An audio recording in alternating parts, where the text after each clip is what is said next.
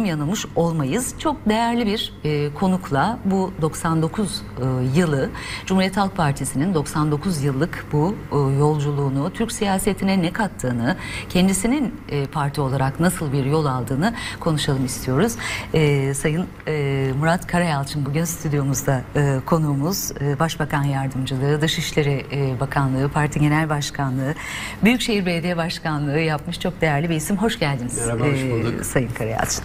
Ee, şimdi 99 yıl e, Türkiye e, Cumhuriyet, Cumhuriyeti e, kadar e, ve çok e, önemli dönemleri var Cumhuriyet Halk Partisi'nin e, değerlendirebileceğimiz kuşkusuz. Atatürk dönemi, İnönü e, dönemi, Demokrat Partisi'nin iktidara gelişi, e, onunla birlikte belki e, CHP'nin bundan nasıl etkilendiği, e, ardından darbeler, e, Baykal dönemi vesaire. Bu 99 yıl e, Cumhuriyet Halk Partisi'ni sizce e, Türkiye siyasetinde e, nelere etki eden, neleri değiştiren ve kendi özelinde partinin e, kendi değişimi açısından nasıl bir yolculuk izlediği bir 99 yıl oldu? Evet, çok teşekkür ederim bana çağrıda bulunduğunuz için. Biz teşekkür ederiz geldiğiniz için. Partimizin 99. yılını kutluyorum. Bütün partilerimizi e, kutluyorum. E, evet çok önemli hizmetlerde bulundu. E, ama belki 99 yılı e, şöyle bir özetlemekte yarar var. Yani öyle bir parti düşünün ki e, bu 99 yıllık dönem içinde e, bir dönem kapatılmış darbe e, döneminde e, darbeciler Cumhuriyet Halk Partisi'ni Evet. kapatmışlar.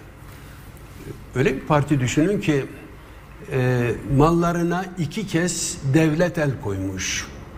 Hazine Cumhuriyet Halk Partisi'nin mallarına el koymuş. Öyle bir parti düşünün ki 1999 yılında yapılan seçimi kastediyorum. Meclisin dışında kalmış. Yaşamının cumhuriyetçi olarak kurulmuş, yaşamının yarısında sol düşünceyi benimsemiş, e, ortanın solu düşüncesini e, ortaya atmış ve öyle bir çizgi izlemiş. Dünyada e, böyle bir parti çok zor. E, CHP yabancı sözcükleri kullanmayı sevmiyorum ama bir siyaset fenomeni. Dünyanın başka yerlerinde görülebilecek bir örnek değil. Siz de biraz önce söyledin, söylediğiniz dünyanın en eski partilerinden bir tanesi. E, bu dönemde 99 yıllık bu maceralarla dönüm, de- dolu, sorunlarla dolu bu döneminde Cumhuriyet Halk Partisi e, e, bir defa önce e, Cumhuriyet'in kuruluşuna öncülük etmiş. E, bizim e, asıl kuruluşumuz e, sevgili önderimiz öyle diyordu. Sivas Kongresi'nden başlatmak gerekiyor. 1919'dan başlatmak gerekiyor. Yani 104. kuruluş yılımız Evet, aslında. bakıldığında. Ee, Erzurum Kongresi'nden, Sivas Kongresi'nden itibaren Cumhuriyet Halk Partisi şekillenmiş bir siyasi hareket olarak güçlenmiş ve Cumhuriyeti kurmuş. Bir defa en önemli kazanım bu. İkincisi, e, dünyada hiçbir baskı altında kalmadan yalnızca kendi tercihiyle, iradesiyle, ikinci genel başkanımızın o doğrultudaki işaretiyle tek parti döneminden çok partili yaşama geçmiş. Çok partili yaşama başlatmış, e, iktidarı kaybetmiş ama e, bu... Demokrasi yolunu açmış aslında. Demokrasinin yolunu açmış. Zaten ikinci genel başkanımız da bunu seçim yenilgisini e, kendisinin en büyük siyasi zaferi olarak nitelemiş. iktidarın devredilmesini. Cumhuriyet Halk Partisi bu dönemde gelişmeleri çok yakından izlemiş. 1957 yılında e, dünyada gelişen yeni siyasi idari kurumları da dikkate alarak 1961 Anayasası'nın özü olan ileri hedefler beyannamesini e, açıklamış, e, onu gerçekleştirmiş. Biraz önce söyledim, e, ortanın solunu e, izlemeye başlamış, öyle bir siyaset tanımlamış. Aslında İsmet Paşa biz baştan itibaren bu noktadaydık diyor ama resmen 1965 yılında Genel Başkan İsmet İnönü Cumhuriyet Halk Partisi'nin ortanın solunda olduğunu e, söylemiş. E, bu da çok önemli bir adım. Dördüncü önemli adım olarak ben e, 2008 e, aralığında Cumhuriyet Halk Partisi'nin kurultayının karara bağladığı e, yeni programı görüyorum. Orada e, inanç farklılıklarının ve etnik farklılıkların bir değer olduğu ortaya konmuş. Yani yeni bu kimliklerin kabul edilmesi gerektiğini, bu farklı inançları, farklı etnik kimlikleri taşıyan kişilerin bu kimliklerini onurla kamusal yaşamın her yerinde taşıyabileceğini söylemiş. Bence bu da olağanüstü bir gelişme, olağanüstü bir sıçrama. Beşinci olarak da e, 2017'den bu yana izlemekte olduğumuz bu yapılandırmakta olduğumuz bu siyasi birliktelik Millet İttifakı'nın 2017 refer 16 Nisan 2017 referandumundan itibaren şekillenmesi Cumhuriyet Halk Partisi Türkiye siyasetine bir ittifaklar e, modelini, ittifaklar yapısını kazandırdı. O kadar etkili oldu ki önce ittifaklar şekillendi. Anayasada 2018 seçimlerinde ittifaklar eskiden yasakken 2018 yılında yapılan bir yasal düzenleme ile ittifaklar yasal hale getirildi. Aslında şunu da söylemek gerekir. Biz 1957 yılında 57 seçimlerine giderken yine bir güç birliği yapısını oluşturmuştuk. Hürriyet Partisi'nin ve Millet Partisi'nin katılımıyla 1957 seçimlerine böyle bir üçlü yapıyla girmiştik. Yani ittifakların ilk modeli 1957 Ondan sonraki asıl bugüne kadar gelen e, yapısı modeli de 2017. 2017 tarihinden bu yana Cumhuriyet Halk Partisi bu yapıya Millet İttifakı'na ya da kimilerinin altılı masa e, dediği bu yapıya öncülük ediyor.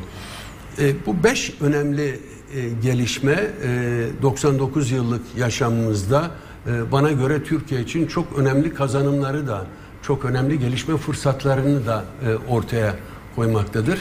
E, Bunlar e, CHP için sizce dönemeçler midir aynı zamanda e, siyasi tarihe bakıldığında partiyi etkileyen belki dönüştüren dönemeçler yani, midir? Evet ben e, evet öyle de denilebilir. Beş önemli gelişme, beş önemli dene, dönemeç e, sizin ifadenizle yeni bir dönemeçin e, arifesindeyiz. E, yeni bir dönemeçe doğru ilerliyoruz. Bunu yalnızca AKP'nin devrilmesi, altılı masanın siyasi olarak iktidara gelmesi anlamında söylemiyorum. Cumhuriyetimizin birinci yüzyılını tamamlayacağız. Cumhuriyetimizin ikinci yüzyılına gireceğiz. Dolayısıyla yeni dönemeç Cumhuriyetimizin ikinci yüzyılında devletimizin, toplumumuzun e, şekillenmesi anlamında değerlendirilmelidir. Şimdi ikinci e, yüzyılı konuşacağız. Bugünü, Tamam. bugünün Cumhuriyet Halk Partisi'ni e, konuşacağız ama e, ilk yüzyılda biraz e, kalalım izninizle. E, bakıldığında e, Cumhuriyet Halk Partisi'nin bu geride bırakılan 99 yılda demokrasinin önü açmış bir e, siyasi parti olarak e, halkla e, buluşmasını siz nasıl değerlendiriyorsunuz? E, mesela işte ortanın solu söylemini Türk siyasetine e, getirmiş bir e, partiniz partidir dediniz. Bunu e, anlatabilmiş midir aynı zamanda halka e, sizce? E, en büyük hataları ya da varsa hataları sizce nerede olmuştur bu 99 yılda? Tabii vardır, olmaz olur mu? Yani biz sosyal demokratlarız. Ee, öz eleştiri bizim düşüncemizin özüdür. Biz kongrelerimizde, birlikteliklerimizde yalnızca şanlı geçmişimizi değil, eleştirilmesi gereken yönlerimizi de söyleyen e, bir siyasi düşünceye e, sahibiz. Dolayısıyla öz eleştiri de yapılabilir. Ee, istediğimiz ölçüde iktidar olamamamız, çok bu 99 yıllık dönemde çok sınırlı e, e, e, zaman aralıklarıyla iktidara gelmemiz, çoğunda da koalisyon şeklinde iktidara gelmemiz hiç kuşkusuz bizim düşüncemizi yurttaşlarımıza yeterince anlatamamış olmamızdan kaynaklanmaktadır. E, e, eğer biz bunları e, anlatabilseydik, e, yeterince anlatabilseydik, her yere götürebilseydik, taşıyabilseydik, e, ben e, yurttaşlarımızın bize tek başımıza iktidar olma fırsatını e, vereceklerini e, düşünen birisiyim. Zaten genel olarak da parti yönetiminde bu düşünce e, egemendir. E, Dolayısıyla eksikliklerimiz var demektir. Eğer anlatamadıysak bu bizim e, öz eleştiriye tabi tutmamız gereken e, yönümüzdür. Onu da yaparız. E, Bugün şimdi kuruluş yıl dönümümüz aslında e, yani e, eleştirel yönden buradan, çok... evet. e, hayır, hayır, buradan tabii e, şuraya getirmek istediğim için bunu soruyorum. E, Kılıçdaroğlu'nun e, pek çok konuşması e, gündeme yansıyor ama bir cümlesi benim e, çok e, dikkatimi çekti ve dokundu da aslında bir vatandaş olarak da. O da şuydu dedi ki e, Kemal Kılıçdaroğlu bir kere de halka seslenirken dedi ki bir kere de bir kuruş çalmamış bir insana oy verin dedi Kemal Kılıçdaroğlu. Yani Cumhuriyet Halk Partisi'nin e, geçmişteki bütün e, politikalarına baktığında halkı, çiftçiyi, memuru, işçiyi öne alan e, politikalarına baktığı, baktığımızda e, söylemi hep bu olmasına rağmen halkın buna e, cevabının e, beklediği gibi olmaması noktasına e, getirmeye çalışıyorum. Buradan da aslında bir algı e, Cumhuriyet Halk Partisi üzerinden yaratılan algıyı konuşalım istiyorum sizinle. Çünkü bugün de benzer bir e, algı aslında Cumhuriyet Halk Partisi üzerinden yaratılmaya çalışılıyor. Hak etmediği, aslında içinde olmadığı e, bir takım işte grup, e, fraksiyon vesairelerle e, birlikte olduğu algısının halkta e, yayılması e, çabası. Bu da bu, bu sizce geçmişte de etkili oldu mu? Yani e, bilemiyorum tam olarak neyi e, e, e, öne çıkarıyorsunuz. E, yani bizim e, Yani bir mesela solcu komünist e, halkın geçmişte 99 yıllık e, Cumhuriyet Halk Partisi döneminde e, toprak reformu demesine rağmen, işçi demesine rağmen vesaire demesine rağmen bir takım yaftalarla halk halk üzerinde bir e, algı yaratıldığını Cumhuriyet Halk solcuyuz biz Partisi. yani biz e, ya biraz önce de söyledim. Evet biz solcuyuz. Sosyal demokratız. E, e, aslında demokratik sosyalist, demokratik sol ve sosyal demokrasi Üçü aynı şeydir. Yani komünizm ayrı bir şey. E, bu baştan Belki bu komünist kullanmalıydım. Evet, Evet. evet yani baştan bu yana Evet. e, bu ikisi ciddi olarak ayrılmıştır. Sosyalist Enternasyonel ayrıdır, e, Komünist Enternasyonel ayrıdır. Biz sosyal demokrat bir parti olarak ortanın solunda e, siyaset yapan bir parti olarak Sosyalist Enternasyonel içindeydik. Hala da buradayız. E, bu kimliğimizle de kıvanç duyuyoruz. E, doğrusu e, bu kimlikle Türkiye'yi yönetmektir. E, komünist değerlendirmesi ayrı bir şey. Biz onların dışındayız. Sosyal demokrasi, demokratik sosyalizm, demokratik sol zaten komünizmden ayrı olan bir şeydir. Cumhuriyet Halk Partisi'nin olumsuzlaştırılması için halk nezdinde zora sokulması için diyeyim söylediklerinin geçersizliğini ancak o şekilde e, e, ortaya koyabileceklerini düşündükleri için Cumhuriyet Halk Partisi'ne bu ifadeler söylenmiştir. Ortanın solu Moskova yolu 1960'lı yıllarda belki Evet, onu evet. söylüyordun. O çok söylenmiştir. Yani CHP'ye başka şeyi söyleyemeyecek olanlar bu tür e, saldırılarda bulunmuşlardır. E, bu yıl e, mütarekenin de 100. yılı, Mudanya mütarekesinin 100. yılı. E, Mudanya e, belediyemiz mütarekenin 100. yılı için bir e, çalışma e, yapmıştı. Ben de o çalışmaya katıldım. Orada da ifade etmiştim. Bir tarihlerde İsmet İnönü için e, asker kaçağı dendi. Evet. Hem de İsmet Paşa diyerek. İsmet Paşa asker kaçağıdır diye. Hem paşa hem de asker kaçağı ifadesi kullanıldı. Yani bu CHP'nin iddialarına, CHP'nin programına söyleyecek sözü olmayan insanların çaresizlik içinde e, ortaya koydukları bir takım tavırların e, sonucudur. E, bugün de e, Evet. bunun örneklerine e, rastlanıyoruz. E, bu olacak. Bunları aşmanın yolu e, bizim kim olduğumuzu, ne olduğumuzu daha açık bir biçimde her yerde yurttaşlarımıza anlatabilmemizdir. Bunun için de örgütümüzün Cumhuriyet Halk Partisi örgütünün çok etkin kılınması gerekmektedir. Çünkü mesajlarımızı halka taşıyacak olan örgütümüzdür. CHP örgütüdür. Tabii ki kitlesel basın araçlarından, iletişim araçlarından tabii ki yararlanacağız ama e, e, ön plana çıkması gereken Cumhuriyet Halk Partisi örgütüdür. Örgütümüzün ben bunu e, yapacağına inanıyorum. Örgüt bu beceriyi e, taşımaktadır. 2019 seçimlerinde elde edilmiş olan başarı e, biraz da e, bu, bu çalışmanın e, sonucu olarak elde edilmiştir, sağlanmıştır. Biz bunu bu seçimde de inşallah 2023 seçiminde de inşallah sağlayacağız, gerçekleştireceğiz. Biraz önce e, Kemal Bey'in e, deftere yazdıklarını e, anlattınız. E, inşallah 2023'te Cumhuriyetimizin birinci yüzyılını Evet. noktalarken Cumhuriyet Halk Partisi de iktidarda olacaktır. E, peki bu e, 20 yıllık e, AKP iktidarı dönemi sizce Cumhuriyet Halk Partisi'ni değiştirdi mi? Ne yönde değiştirdi? Yani Cumhuriyet e, 20 yıllık AKP iktidarı e, bir e, yıkımdır. E, tabii çok çeşitli açılardan e, eleştirebilirsiniz ama e, ben e, sosyal demokrat bir siyasetçi olarak birkaç göstergenin öne çıkarılması gerektiğini e, düşünürüm. E, bir tanesi istihdam düzeyidir. Yani e, iş talebinde bulunan, iş gücü kümesine giren gençlerimize, insanlarımıza e, yönetim e, istihdam yaratabiliyor mu? Yeterince istihdam yaratabiliyor mu? Yaratamıyor mu? Bir tanesi odur. E, bir tanesi yaratılan değerin e, büyüklüğüdür. Üçüncüsü de yaratılan değerin nasıl paylaştırıldığıdır. Hakça paylaştırılıp paylaştırılmadığıdır. Bu açıdan baktığımızda 20 yıllık e, dönemde çok büyük bir başarısızlık olduğunu görüyoruz. İşin bir yanı böyle.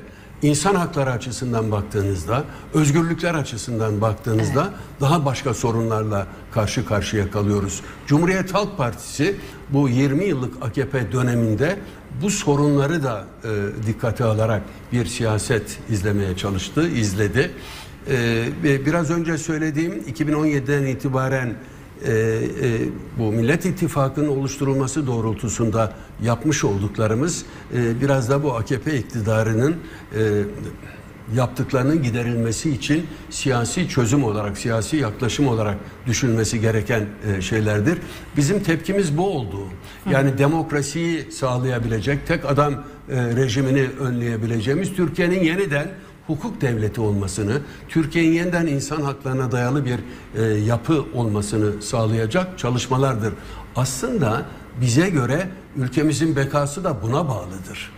Yani bir e, yalnızca bir e, güvenlik devletiyle, yalnızca bir güvenlik yaklaşımıyla Türkiye'nin bekasını e, düşünemezsiniz. Tabii ki güvenlik önlemlerini alacağız. Tabii ki Türkiye'nin güvenliği, toplumumuzun güvenliği yaşamsal hı. ölçüde önemli. Ama o yetmez. Yani eğer insan haklarına saygı yoksa, demokrasi yoksa, özgürlükler yoksa, düzgün düzenli işleyen bir kamu yapısı, devlet yapısı yoksa almış olduğunuz o önlemlerin hiçbir hiçbir sonucu olamaz. Çünkü yani yurtta barış, dünyada barış dediğimiz şey e, hem ülkede barışı e, sağlamamızı gerektiriyor hem bölgemizde e, barışı sağlamamızı gerektiriyor. Bunun yolu da sevgili önderimizin çizmiş olduğu çerçeveye dayalı olarak siyaset yapmaktan geçmektedir. Bugün helalleşme başlığı altında Sayın Kılıçdaroğlu'nun yürüttüğü siyaseti mesela bir değişim olarak görüyor musunuz Cumhuriyet Halk Partisi açısından? Evet. Ee, biraz önce söyledim. Yani aslında bu sosyal demokrasinin öz eleştiri e, dediğimiz e, kuruma e, e, yaklaşımını ortaya koymaktadır. E, böyle bir kurum vardır bizim inancımızda. Aslında bizim kültürel inancımızda da helalleşme e, vardır. E, siyasi düşüncemizde öz eleştiri dediğimiz şey vardır. E, Sayın Genel Başkan'ın e, vermiş olduğu örnekler bizim hatalarımızdan çok yani Cumhuriyet Halk Partisi olarak bizim o sınırlı iktidar dönemimizde, iktidarı paylaştığımız dönemlerde bizim CHP olarak hatalarımızdan çok evet. E, genel olarak yapılan hatalara işaret etmektedir. AKP'nin hatalarını da Sayın Genel Başkan dile getirmektedir. AKP'nin yaptıklarıyla bizim öz eleştiride bulunmamız e, gerekmiyor. Biz evet. eleştirme durumundayız. AKP'yi evet. eleştirme durumundayız. Ama bunu bir sanırım Sayın Genel Başkan bir genel çağrı olarak yapıyor. Bak biz bunu yapıyoruz. Yani ikinci yüzyıla girerken herkes herkes bunu yapsın. Yani ben e, bizim yapmadıklarımızı da dile getiriyorum ki e, onu yapmış olanlar da oradan sonuç çıkartırsın, çıkarsınlar. O mesajı alsınlar. Onlar da onun gereğini yerine getirsinler anlamında değerlendiriyorum ben e, Kemal Bey'in söylediklerini. Şimdi bugüne geldiğimizde e, Sayın Kılıçdaroğlu az önce e, konuştuğumuz geçmişte de e, aslında Cumhuriyet Halk Partisi üzerinde zaman zaman e, yapılan, yapılmaya çalışan e, algı e, operasyonunun hali hazırda devam ettiğini e, görüyoruz, biliyoruz. Ben bir son örnekle e, bugünden e, yorumunuzu almak isterim. Biliyorsunuz Cumhurbaşkanı Erdoğan e, gezisi dönüşü uçakta gazetecilerin sorularını e, yanıtladı. Bu e, sorulardan birini hatta e, ikisini iletmek isterim hem size hem izleyicilerimize. Ee, Mustafa Yıldız sormuş soruyor. Ee, altılı Masa'da CHP'den gelen HDP'ye bakanlık verebiliriz çıkışıyla başlayan tartışma karşılıklı atışmalarla sürüyor. Seçime de az bir zaman kaldı ama buna rağmen herhangi bir aday belirleyememiş olmaları da göz önünde bulundurulursa bu yapının ülke yönetimine talip olmak istemesini nasıl değerlendiriyorsunuz? Yani bir cümle içerisinde aslında birden fazla bir kere şahsi e, tespitin sanki Cumhuriyet Halk Partisi e, tarafından da öyleymiş gibi iletildiğini görüyoruz. Diğer diğerini de okuyayım. Sizin yanıtınızı öyle alayım. Kılıçdaroğlu Emin Pazarcı sormuş. Kılıçdaroğlu KHK'ları göreve iade edeceğinden bahsetti ve bununla ilgili olarak bir parti görevlisi de olduğunu söyledi. Siz de böyle bir yetkinin olmadığını söylediniz ama işin arkası- arkasında başka bir şey daha var. Bu KHK'lılar siz de belirttiniz PKK'lılar ve FETÖ'cüler. Bunların ikisinin birlikte arkada bıraktığı on binlerce şehidimiz var, verdiği büyük zarar var. Altılı Masa'dan da bununla ilgili herhangi bir itiraz yok. Çok mutlular. Evet. Cumhuriyet'in 100. yılını kutladığımız bir noktada Cumhuriyet Halk Partisi ne yapmak, bizi nereye götürmek istiyor? Şimdi bunu bir gazeteci e, soruyor demeyeceğim, söylüyor diyeceğim hani bir e, soru olmadığı için. Kılıçdaroğlu defalarca KHK ile ilgili ne demek istediğini, yargı kararı üzerinden e, ancak bir karar verebileceğini söylediği halde sorulan soru ve topluma yansıtılan bir biçimde aslında e, bu. Dolayısıyla algı e, yaratma e, devam ediyor Cumhuriyet Evet, Halk Partisi doğru. üzerinde. E, nasıl değerlendirebiliriz bunu ve böyle bir üslupla nasıl baş edilebilir sizce? Yazıklar olsun diyorum önce. Ee, çok üzüntü duydum.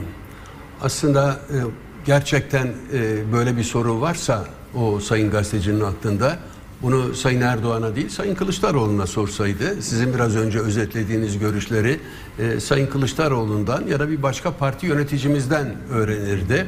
Ki Ee, defalarca cevap verdi ee, aslında. Evet yani siz de şimdi özetlediniz yok böyle bir şey. Yok böyle bir şey. Yani KHK'lılarla ilgili çok büyük haksızlıklar yapıldığını saptamış bulunuyoruz. Yani bütün yurttaşlarımız da bunu saptadılar. Gerçekten çok büyük haksızlıklar var. Ee, beraat ettikleri halde ya da kurulan komisyonda e, bir sorunun olmadığı saptandığı halde e, göreve getirilmeyen binlerce e, kamu çalışanı var. Evet. Ee, Sayın Genel Başkan ve partimizin sayın sözcüleri e, buna işaret ediyorlar. Ee, yasaların, yargının ve kurulan komisyonun kararlarının e, yerine getirileceğini, gereğini yerine getirileceğini söylüyorlar. Ceza almış olan varsa, hüküm giymiş olan varsa tabii ki bu söz konusu değildir. Bunu defalarca söyledik ama bunu e, işte bu burada Evet, da konuşmamıza neden olacak bir şekilde bu soruyu sorabiliyor. Birinci soruya gelince aslında e, burada e, bir defa öncelikle şunun anlaşılması lazım. HDP'ye hükümette görev veren AKP'dir. 2015 yılında AKP Genel Başkanı'nın kurduğu AKP hükümetinde iki HDP'liye bakanlık görevi verilmiştir. Ve Sayın Erdoğan Cumhurbaşkanı olarak bu kabineyi, bu bakanlar kurulunu onaylamıştır. Yani AKP yapınca sorun değil ama bir başkası bunu dile getirdiğinde birdenbire bu bir sorun şekline dönüşüyor. Şimdi bakın e, bizim altı partili bir yapımız var. Demin de buna göndermede bulundum. Altı partili bir ittifakımız var. Bu ittifak içinde HDP yok.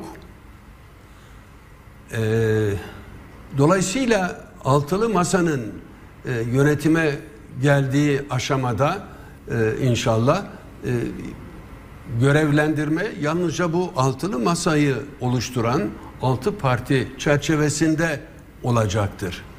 Ama şunu da söyleyeyim. Yani bu niye bu kadar kıyamet koparılıyor? Biraz önce söyledim AKP iki tane bakanı görevlendirmiş. Türkiye Büyük Millet Meclisi'nde başkan vekili, HDP'li bir başkan vekili var. MHP'lisi de, AKP'lisi de, AKP'nin bakanları da söz talebinde bulunuyorlar. O izin verirse konuşuyorlar. Aynı masada olmayız, aynı yerde durmayız. Ne demek bu? Yan yanasın zaten.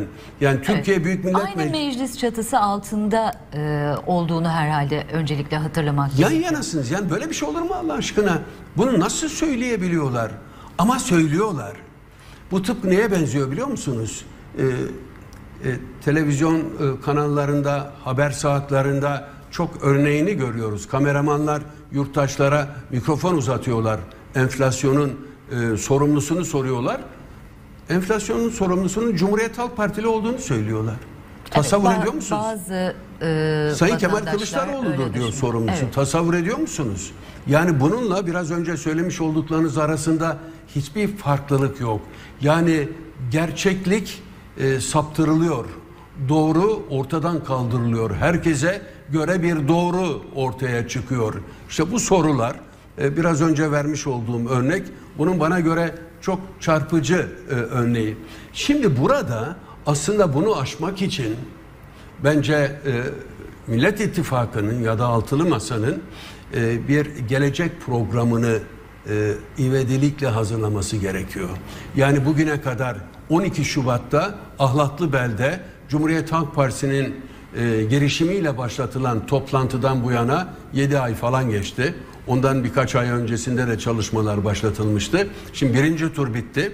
İkinci tur 2 Ekim tarihinde başlayacak. Altı Parti Genel Başkanı 2 Ekim'de CHP'nin ev sahipliğinde bir araya Evet. gelecek. Ve e, Cumhurbaşkanı adayının belirleneceği tarih de yaklaşık 2023'ün ocağı olacak. Öyle bekliyorum. Geçmiş yıllardaki Yüksek Seçim Kurulu kararlarını, zamanlamasını dikkate alarak bunu söylüyorum. Yani önümüzde 2-3 ay var. Bu 2-3 aylık süre içinde yapılması gereken şey Millet İttifakı'nın bugüne kadar söylediklerinin dışında yurttaşlarımıza, seçmene e, coşku duyabilecekleri, güzel günleri bekleyebilecekleri, gençlerimizin yurt dışına çıkmayı düşünmeyeceği bir Türkiye projesini sunmaları gerekiyor. Bir gelecek projesini sunmaları gerekiyor. Evet. Aslında tartışmayı biz onun üzerine çekmeliyiz.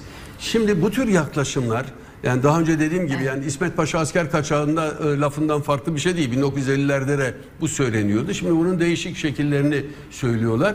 Bu tür yaklaşımları aşmanın yolu da e, Evet. bence bu. Yani çünkü burada Şiraze o kadar e, Evet.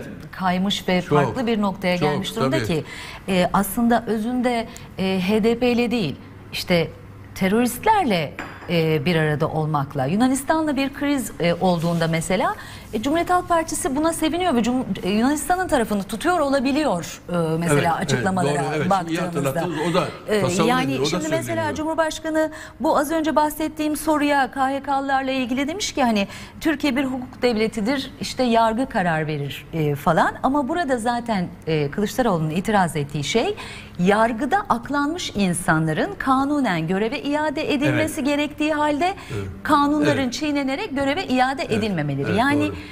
yapmadığı bir şeyle de çok rahat bir biçimde suçlanabildiği bir e, ortamda. E, bu, bu ortam içerisinde bir taraftan da e, bir e, adaylık e, adayın açıklanması yönünde de e, bir e, ısrar var. Hatta açıklanmasından öte adayın kim olması gerektiğine dair de aslında e, bir ne demeli? Orada da bir algı operasyonu aslında yürütülmeye çalışılıyor. Son olarak da yine Kemal Kılıçdaroğlu buna bir cevap verdi dün sosyal medya hesabından. Alo Holding medyası e, dedi ve ben kelle koltukta siyaset yapıyorum bana hani işimi öğretmeye kalkmayın dedi bir anlamda. Çok fazla e, kimin aday olması, Kılıçdaroğlu'nun olmaması üzerine yapılan değerlendirmeler, yorumlar var. Bunları nasıl değerlendiriyorsunuz? Birincisi. İkincisi aslında bir kişiye e, hep derler ya çok karizmatik lider vesaire. Oysa ki hani karizmanın karın doyurmadığını biz çok net yaşıyoruz şu anda. Bir sisteme, bir hukuka, güvenme ihtiyacı var Türkiye'nin bir yandan. Siz nasıl değerlendiriyorsunuz? Burada bir bir çalışma görüyor musunuz gerçekten adaylık noktasında? Şimdi yani bu, bu da defalarca söylendi. Ee, bir kez de ben şimdi söyleyeyim. Gerek Kemal Bey gerekse öteki partilerin sayın genel başkanları, sözcüleri dediler ki, demekteler ki iki şey olacak. Önce program hazırlanacak, sonra aday saptanacak. Yani Millet İttifakı'nın yurttaşlarımıza sunacağı benim gelecek programı, projesi diye adlandırdığım metin, siyasi metin hazırlanmadan aday saptanmayacak. Önce o metin hazırlanacak, sonra da aday saptanacak. E, Bence de doğru bir şey bu. Ee, siz adayınızı e, bir an önce söyleyin vesaire e, lafları ya da adaylık tartışmaları aslında altı sayın genel başkanın ortaya koydukları bu doğru stratejiyi parçalamak, bölmek ve kendi kafalarına göre bir başka mücadeleyi başlatmak, bir başka yıpratmayı e, başlatmak. Doğrusu bu, gerekli olan bu. E, zaten anket sonuçlarına baktığımız zaman e, beklenen de bu. E, güçlendirilmiş parlamenter sistem tek başına yetmiyor. Evet parlamenter sisteme geçilmeli. O, onda kuşku yok. E, altı parti e, çok güzel taahhütlerde bulundu. Çok doğru vaatler dile getirdi. Örneğin bütün farklılıklarımızla biz olacağız dediler. Ne kadar güzel bir şey bu. Bizim yeniden biz olmaya ihtiyacımız var. Örneğin Cumhuriyeti demokrasiyle taşlandıracağız dediler. Ne kadar doğru bir şey bu. Şimdi bunları hem nasıl yapacağımızı ortaya koymalıyız hem de Remzi Hanım bir e, enflasyon, e, geçim sıkıntısı, e, işsizlik e, gerçekten e, çok üst noktalarda. Yani bütün bunların dışında da insanlarımızın hani açlıkla, yoksullukla karşı karşıya oldukları e, bir, bir dönemi çok ağır bir biçimde yaşamaktayız. O nedenle bu dediklerimin dışında bu iktisadi önlemler, mali önlemler, işsizliğin giderilmesi için, yoksulluğun giderilmesi için, gelir dağılımının bir nebze bile olsa ivedilikle iyileştirilme girişimlerinin başlatılabilmesi için e, yurttaşlara bir şey söylemek gerekiyor. Bir proje sunmak gerekiyor. Bir de işte o yönü var. Dolayısıyla bu ikisini yapacağız. Bu dolayısıyla bu tartışmaların hiçbir anlamı yok. Hiçbir gereği de yok. E, çok açık olarak söylendi. Bir kez de ben burada söylemiş olayım. E, bunun ayrı ayrı e, anlatılmasının e, halkta e, tek ses çıkmadığı e, Evet, biçimde evet. yorumlandığı İşte tabii, doğru, eleştirisi doğru, var evet. ve bunun da bir güvensizliğe yol açabileceği tam olarak bu altılı masanın ne dediğine dair ikircikli bir durumun ortaya çıkabileceği Evet. düşünüyor. Evet, evet doğru. Şimdi bakın bu AKP ile MHP'nin Türkiye Büyük Millet Meclisi'nden geçirdikleri seçim yasası e, zaten e, altılı masanın parçalanmasına dönük bir takım tasarımları da e, kapsamakta. E, daha öncesinde oy birlikte alınıyordu. Sonra birlikte alınan oy kendi iç dağılımına göre e, belirleniyordu. Şimdi bu seçim yasası her partinin kendi başına oy almasını getirdi. Dolayısıyla bir anlamda altılı masa dağıtılmaya çalışıldı. Dolayısıyla altı masanın yöneticileri, genel başkanların her birisi kendi programlarını her alanda, her konuda yurttaşlara sunmaya başladılar. O öyle. O herkesin kendi bakışı. Kafa karışıklığına yol açar mı peki bu? Ya açar tabii. Onun için yani siz de söylediniz. Bence de doğrusu o. Onun için bunun kafa karışıklığına yol açmaması için Evet. seçilecek, Ne yap- belirlenecek Cumhurbaşkanı adayının ne yapacağının e, anlaşılması için, görülmesi için bir ortak programa ihtiyaç var. Ayrıca şunu da söyleyeyim. Yani Türkiye Büyük Millet Meclisi'nde bizim istediğimiz anayasal değişikliğin e, geçirilmesi e, olanaklı olmayabilir.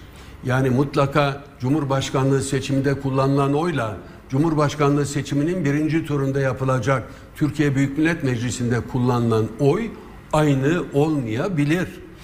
Şimdi birkaç tane kritik eşik var. Sayısal kritik eşik var. 600 e, milletvekilinden oluşan Türkiye Büyük Millet Meclisi'nde. Bir tanesi 400. Eğer 400 sandalyeniz varsa e, referanduma gitmeksizin Türkiye Büyük Millet Meclisi'nden geçirerek yeni bir anayasayı gündeme sokabilirsiniz, devreye sokabilirsiniz. 360 milletvekiliniz varsa ikinci kritik eşik o zaman e, anayasayı referanduma götürebilirsiniz mecliste görüştükten Evet. sonra. E, bir de salt çoğunluk 301. E, 301 çoğunluğunu elde ederseniz e, Türkiye Büyük Millet Meclisi'nden geçen yasalar Cumhurbaşkanı kararnamelerinin üstünde. Eğer bir konuda Cumhurbaşkanlığı kararnamesi ve Türkiye Büyük Millet Meclisi'nden geçen yasa varsa yasa e, öne çıkmaktadır. Dolayısıyla 301'in de o açıdan çok büyük bir önemi var. Ama sonuçta Cumhurbaşkanı değişebilir. Bu kritik eşikler elde edilemeyebilir. Onu da dikkate alarak söylüyorum. Onu da dikkate alarak ifade ediyorum. Ee, bir beş yıl e, bugünkü anayasaya göre ve bugünkü yasalara göre bir yönetim söz konusu olabilir Remziye Hanım. Evet Bir ama beş. ve bunu suistimal etmeyecek birinin olması gerekiyor öyle değil E, mi? olamaz. E, zaten söz Evet. konusu değil. E, o söz konusu. Dolayısıyla bir ortak program yani sizin de işaret ettiğiniz bir ortak programın o açıdan da e, e, önemi var.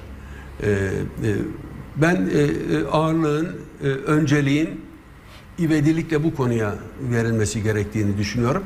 Zaten şimdi önümüzde 9 ay var yaklaşık. 9 ayı ben ikiye ayırıyorum. E, bir 3 ay bir 6 aylık ikili bir ayrıma tabi tutuyorum. 3-4 ayda e, bu program hazırlanmalı. E, Cumhurbaşkanı adayı e, saptanmalı. E, bir de hükümet protokolü imzalanmalı.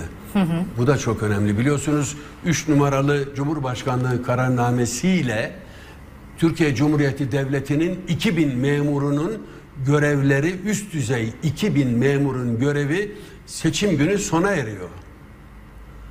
Bunun içinde valiler var, büyükelçiler var, emniyet var, e, emniyet müdürlerimiz var, kaymakamlar, herkes. Evet. Herkesin sona eriyor. E şimdi bu e, 2000 yeni kamu görevlisinin atanacağı anlamına geliyor. Dolayısıyla yani ben e, bir koalisyon ortaklığında başbakan yardımcısı olarak görev yapmış bir siyasetçi olarak geçmişte yaşadıklarımızı da hatırlayarak söylüyorum. Yani vali tayinlerinin e, çok zaman aldığı dönemler oldu. Bir türlü çıkmadığı dönemler yaşandı. Onu da dikkate alarak söylüyorum. Şimdi önümüzdeki 6 ayın ilk 3-4 ayında bir ortak program, iki Cumhurbaşkanı adayı, üç hükümet programı, protokolü. Kim ne yapacak? Nasıl Evet. olacak? Bunları belirlemeliyiz. Bunları yurttaşlarımıza sunmalıyız. Ondan sonra da geri kalan e, 5-6 ay içinde seçim güvenliği, sandık güvenliği, işte kimler var, listelerde kimler var, e, göçmenler. Evet. Bir e, de bu programı anlatmak gerekecek zaten o Evet, kadınlarla. son olarak da zaten asıl e, Evet. şeyimiz o. Orada da CHP örgütünü ve aslında e, e, öteki beş partimizin e, örgütlerinin o ortak programımızın anlatılması için e, tırnak içinde araziye çıkmaları Evet, e, gerekiyor. evet, evet. Onun da başarıyla yapılabileceğine inanıyorum. En kritik olan budur. Yani ilk 3 ay, ilk 4 ay. Onun için 2 Ekim'de başlayacak süre Evet. bunun başlangıcıdır. Kronometre çalışmaya başlayacaktır. Evet. Ocak ayına kadar bunları tamamlamalıyız. Şimdi bizim de kronometremiz çalışıyor bir yandan. Son bir dakika Tamam, ikinci peki. ikinci yüzyıl için e, dileğinizi, son cümlenizi e, Aslında alarak e, tamamlayalım evet yani Sayın bu gelecek Karayalçın. programı dediğim şey ikinci yüzyılın programıdır. Ben burada kurumsal yapılanmaya çok önem veriyorum. Türkiye Cumhuriyeti Devleti'nin kapasitesinin artırılması gerekiyor. Ne demek devlet kapasitesi? Devlet kapasite demek devletin amaçlarını gerçekleştirebilmesi demektir. Devletin amaçlarını yurttaşlarına söylediğini ortaya koyabilmesi demektir. Bunun için de iyi kurumlarınız, güçlü kurumlarınız olacak. Yetenekli, liyaka- liyakatlı, dürüst kamu çalışanlarınız olacak. Bu ikisini bir araya getirmeniz lazım. Bence partimizin kuruluşunun 99. yılına son cümle olarak da onu söyleyeyim. Bunun için halkı devlet yönetiminin içine e, taşımalıyız. Evet. Halk devlet yönetiminde, yerel yönetimlerde, yerel yönetim tüzel kişiliklerinde, icrada e, yönetim paydaşı olarak, yürütme paydaşı olarak yer almalıdır. Bence ikinci yüzyılın en önemli kurumu halkın bunun içinde yer almasıdır. Çünkü biz Cumhuriyet Halk Partisi'yiz. Evet. Ee, evet, son olarak e, partimizi tekrar kutluyorum. Yaşasın Cumhuriyet diyorum, yaşasın Cumhuriyet Halk Partisi diyorum. Çok teşekkürler bugün ederim. geldiğiniz konuğumuz olduğunuz için Sayın Karayalçın sağ olunuz. Evet e, çok değerli bir siyasetçi Sayın e, Murat Karayalçın'ı e, konuk ettik bugün stüdyomuzda Cumhuriyet Halk Partisi'nin e, 99. yılı dolayısıyla bu söyleşiyle de gününüzü noktalayacağız sayın seyirciler. Çok teşekkür ediyoruz bizi izlediğiniz için. İyi bir hafta sonu e, dileyelim ve e, kısa bir araya gidelim.